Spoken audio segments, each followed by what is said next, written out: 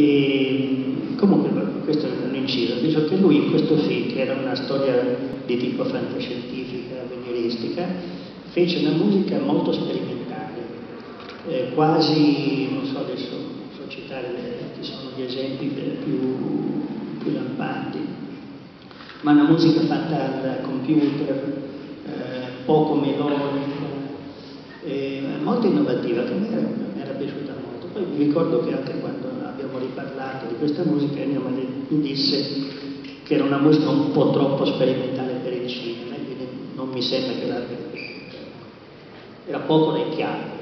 E il film dove è finito? Esiste almeno? No, il film che io sappia non esiste più perché esiste nei, negli scantinati della Procura della Repubblica. Con i tagli? Ma presumo che esista intero, cioè io non ho accesso. E dov'è? Materialmente dove sono? Palazzo di Giustizia. Però io non ho accesso. Qui a Roma. È un, è un corpo di reato per cui non è che uno può andare lì a prenderlo. E non puoi far causa o non ti interessa più? No, non mi interessa. Anche perché non avrebbe senso. No, non, non esiste un DVD. No, perché ai tempi cioè nel 69 non c'era, non si faceva il DVD. E poi nessuno di noi pensava che l'avrebbero sequestrato un giorno. Quindi non Anche per ritrovare la, la musica di, di, di Ma Morricone. forse Ennio le ha le musiche, probabilmente. Io credo. No, perché come lo spieghi, è- è molto, io devo dire, Sicuramente avrà le musiche. il film l'ho visto, eh. L'hai visto? No, no, non l'ho visto. E mi, sono molto curioso di, di vederlo e di sentire. Vabbè, lo chiederò le musiche, lui le accetta. Registrato, secondo te? Penso di sì. Va verificato. eh. Dopodiché arrivi a Forza Italia, forse il film che ha, eh, ti ha fatto conoscere un po' di più, forse, Forza Italia, perché ha avuto un gran successo, anche un po' di scandalo, cioè ha creato dibattiti, eh, avevi come assistente Marco Tullio Giordana. e- questo invece l'ho visto in Italia in una sala gremita, eh, è un film che ha veramente creato dibattiti.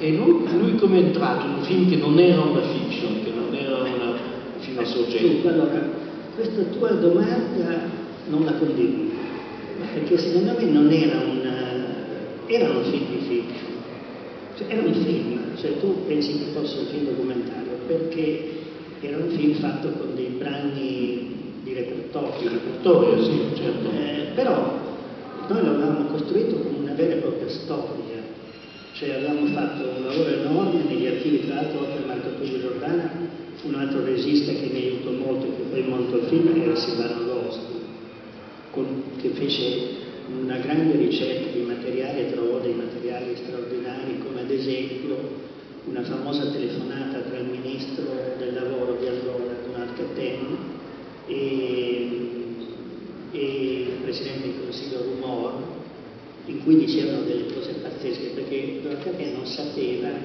che questa telefonata era registrata. Eh, e noi invece l'abbiamo trovata negli archivi della RAI.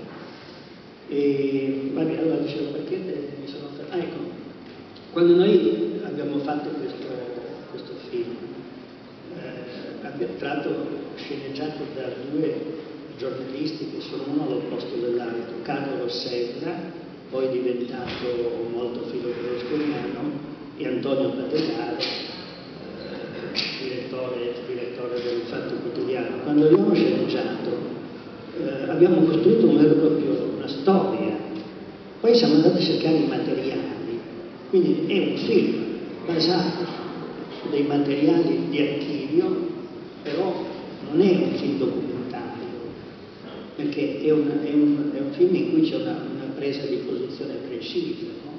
Sulla- su quello che era la democrazia cristiana.